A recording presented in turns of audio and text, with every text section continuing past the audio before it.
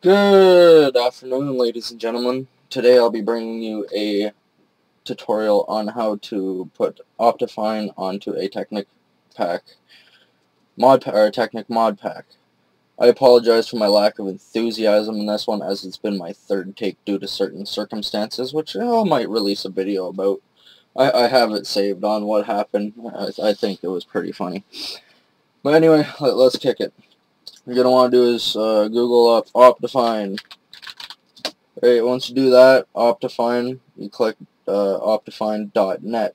Once you have that, it'll bring you here. You hit downloads, you go Optifine 1 point whatever, yeah, go there to whatever one you need. It'll list them all here. Uh, so you're going to want to hit download. I'm not going to hit download because it's it that's what caused me to have to make a new video.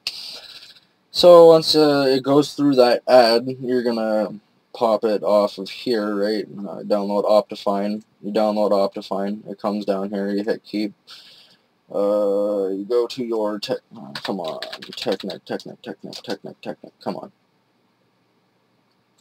Loading up. Loading up, loading up, loading up. There we are. So you look for the mod pack you want to go to. Mine is this one, so mod pack options. You want to hit open. Once you're here, minimize the rest of these. Get this right here. You're going to want to hit mods. You're just going to want to drag this into here. I already have it in here, and it's kind of redundant to do that